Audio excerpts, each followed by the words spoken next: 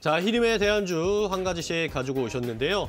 자, 역시 히림의 성장세, 성장 속도가 의심스럽다라는 의견 주셨는데 이에 반해서 성장세가 기대가 되는 한미 글로벌을 한 분이 대안주로 주셨고요. 다른 한 분은 어, 히림처럼 리모델링 사업도 하지만 여기에 플러스 원전 사업까지 펼치고 있는 현대건설이 좋겠다라는 의견 주셨습니다. 한미 글로벌과 현대건설 비교 분석해 보도록 하겠습니다. 자, 두 분이 한 종목씩 대안주를 주셨는데요.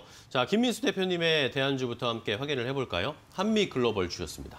네, 어, 지금 비슷한 사업을 하고 있습니다. 그렇네요. 네, 좀더 뚜렷한 성장세다라고 하게 되면 이 기업이 더 낫겠다라는 음. 판단으로 말씀드리고 싶고요. 좋습니다. 앞서 어, 잠시 말씀드렸던 건설 사업 관련돼서 어, CM이라고 그러죠. 이쪽에 대해서 주력을 하는 회사인데 이 어, construction management인가요? 갑자기 생각이 났습니다. 네. 음. 네. 어, 이쪽과 관련돼서 잘하십니다. 요즘. 예, 건설 사업을 기획하고 또 설계하고 발주하고 시공하고 또 이제 감리까지 하는 모든 건설 사업에 관련된 서비스를 한 번에 어, 통합 관리할 수 있는 대표적인 회사다라고 하게 되면 앞으로 이런 어, 특히 내가 건물 땅을 갖고 있는데 어, 건축을 하고 싶다라고 하게 되면 이런 한 번에 어, 어떤 total solution을 할 수 있는 회사가 훨씬 더 낫지 않나라는 쪽에서 앞으로에 대한 기대감은 더 있다고 봐야 될 것 같고요. 그런 쪽으로 봤었을 때 이런 어, 글로벌 지위까지 생각하게 되면 글로벌 9위에 이 PM이라고 하는 또 project managing을 할 수 있는 회사다라고 보는 게 어, 또 지금 시각이라고 봐야 될 것 같고요. 그러다 보니까 최근에 정부의 어, 뉴딜, 그 데이터 뉴딜 관련된 쪽에서 어, 데이터 센터를 가동할 때 수주를 했던 측면이나 네. 또 그린 뉴딜 관련된 쪽에서도 어, 점진적으로 수혜를 보고 있는 측면들이 높은데 특히 어, 에코시안 같은 두 개의 사를 인수를 하다 보니까 그와 관련된 친환경 전문 컨설팅 업체 쪽으로도 발돋움을 했다라고 하게 되면 여기서 또 추가적인 수주를 어, 이어갈 가능성이 높다라고 봐야 될 것 같고요. 게다가 또 어, 대표적으로 국내 건설 경기의 회복의 수혜, 특히 작년 같은 경우는 생각보다 좀 하반기에 부진했죠. 네. 그런데 올해 어, 또 새로운 정부와 함께 나올 수 있는 여러 가지 기대감을 이어간다라고 하게 되면 이런 부분 쪽에서도 국내 건설 경기의 모멘텀이 더 있다고 봐야 될 것 같고요. 게다가 또 좀 더 확장돼서 한국과 미국 글로벌 회사 이름이 그렇죠. 네. 그러다 보니까 미국 인프라 투자에 대한 확대 수혜도 같이 나오고 있는 상황들인데 어, 특히 미국의 자회사 중에 오텍이라는 회사가 있습니다. 어, 어, 네. 이쪽에서 어, 설계 엔지니어링을 전문으로 하는 회사인데 음. 어, 미국의 인프라 투자가 확대가 됐었을 때 나올 수 있는 수혜가 높다라고 하게 되면 이 부분도 같이 연결돼서 앞으로의 올해 또 성장세도 눈길이 간다라고 봐야 될 것 같고요. 네. 실적을 보게 되면 작년에 영업이익이 190억 정도 나와서 한 15% 원래는 좀 더 눈높이가 높았는데 네. 하반기에 조금 부진했었고요. 하지만 여전히 성장세를 이어갔다라고 한 점 쪽에서 눈길이 가고 있는데 올해는 390억 정도를 예상하고 있습니다. 그러다 보니까 어, 전년 대비 100% 이상 증가하는 추세죠. 그런 쪽으로 봤을 때 지금 올해 선행 PR로 보게 되면은 지금 주가 수준이 다섯 배밖에 되지 않는다라고 하게 됐을 때 실적 대비 저평가까지 보여주게 되면 오히려 어떤 건설 경기에 대한 변화와 그또 미국의 인프라 투자에 대한 기대감들 같이 따지게 되면 저평가다라는 쪽에서 훨씬 더 눈길이 가고 있다고 보여집니다. 네, 알겠습니다. 자, 이렇게 한미 글로벌을 김민수 대표님은 주셨는데 히림과 비슷한 사업을 하고 있는데 성장성이 눈에 띈다, 실적도 받쳐주고 있는 이런 기업을 오히려 보자라는 의미에서 한미 글로벌을 소개를 해주셨고요.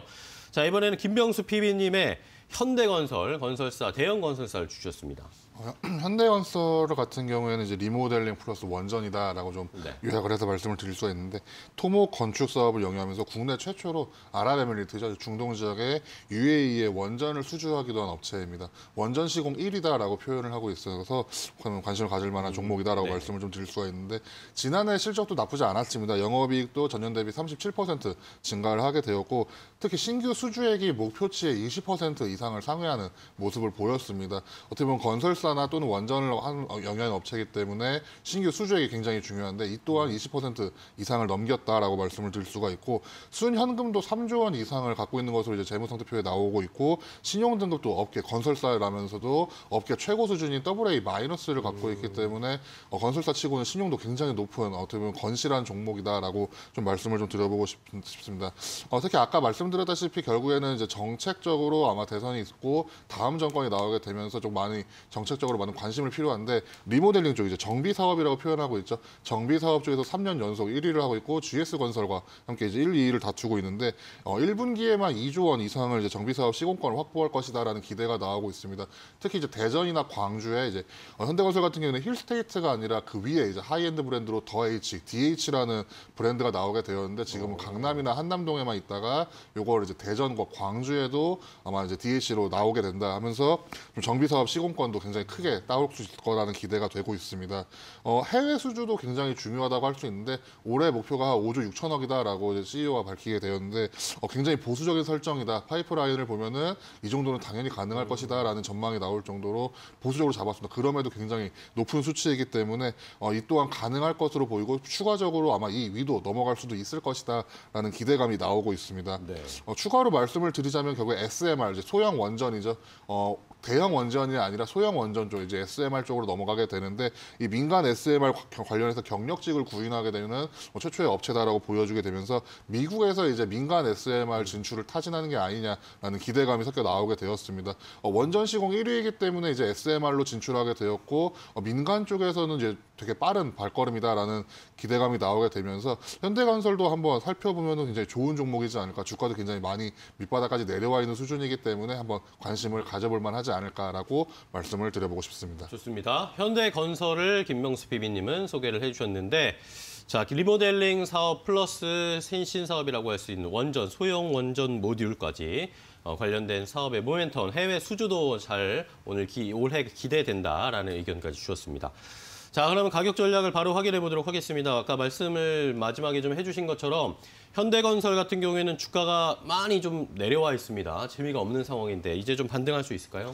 어, 지난 3월 이제 코로나 이후로 이제 보면은 거의 다 저점까지 내려와 있는 수준이라고 보시면 좋을 것 같고 어, 1월 말에 한번 많이 빠졌을 때 기억나실 겁니다. 그때도 거의 저점 이상을 많이 빠진 상태에서 살짝 회복되지 않아 4만 2천 원대 모습을 보여주고 있습니다. 뭐 BNK 투자증권에서도 한 2월 초에 레포트에서 6만 7천 원까지도 기대할 수 있을 정도로 좋은 업체라고 말씀을 하고 있고 어, 한 4만 2천 원 지금 가격 조금 아래나 또 4만 2천 원대에 들어갈 수 있다면은 좋은 자리가 되지 않을까라고 말씀을 드려보고 싶고 저는 좀 외부 요인이 좀 있다 보니까 조금 보수적으로 말씀을 드려서 전고점 살짝 위인 5만 원 정도면은 그래도 무난하지 않을까라고 말씀을 드려보고 싶습니다. 하지만 손절가는 굉장히 짧게 잡아서 바로 38,500원, 39,000원 라인을 터치하게 되면은 다시 한번 기회를 노려야 되지 않을까라고 말씀을 드려보고 싶습니다. 네. 자, 현대건설 주셨는데 일단은 손절 라인은 좀 짧게 잡고 대응을 하자라는 의견을 주셨고요. 자, 한미 글로벌도 보겠습니다. 한미 글로벌 김민수 대표님, 일단은 지난주에 조금 상승이 나오긴 했는데 추세 어떻게 보십니까?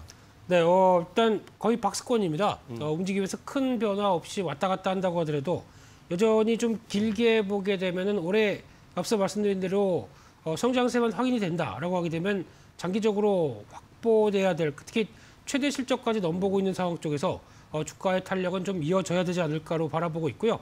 그런 측면으로 보게 되면 직전 고점 때까지 나오는 지금까지 가장 좋았던 실적 흐름들이 어, 2019년도입니다. 네. 그러다 보니까 어, 그때까지 나왔던 가격대까지 체크했을 때는 어, 또 중기적인 박스권 상단부인 15,000원대 정도까지는 목표가를 설정할 수 있을 것 같고요.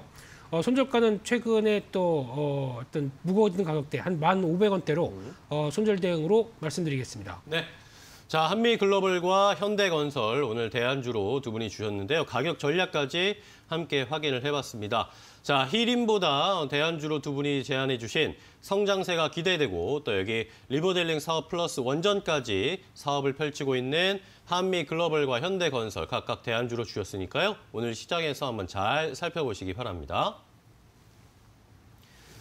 자, 이제 오늘 기대해도 괜찮은 여기까지 확인해 보겠고 오늘 시장 좀 대비를 해 보겠습니다. 일단은 지난주에도 뉴욕 시장이 우- 우크라이나 전쟁 때문에 여전히 좀 하락세가 이어지고 있는 상황인데 이번 주에도 이쪽을 살펴볼 수밖에 없을 것 같습니다. 어떻게 보세요, 대표님?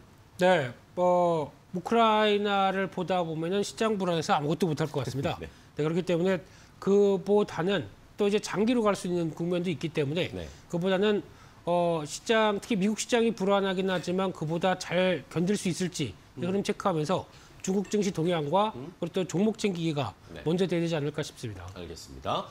자, 김명수 PB님은 어떻게 보세요? 어, 뭐? 물론 우크라이나 사태가 아마 되게 중요한 분수령일 거라고 말씀드릴 수 있지만 하지만 이제 코로나19가 이제 진짜로 조금 막- 막바지 모습을 보이고 있습니다.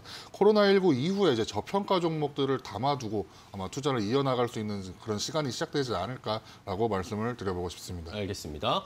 자, 오늘 두 분과 함께 오늘 시장 대비하는 방법까지 알아봤습니다. 좋은 종목도 소개해 주셔서 감사하고요. 두 분 다음 시간에 또 뵙도록 하겠습니다. 고생 많으셨습니다. 고맙습니다.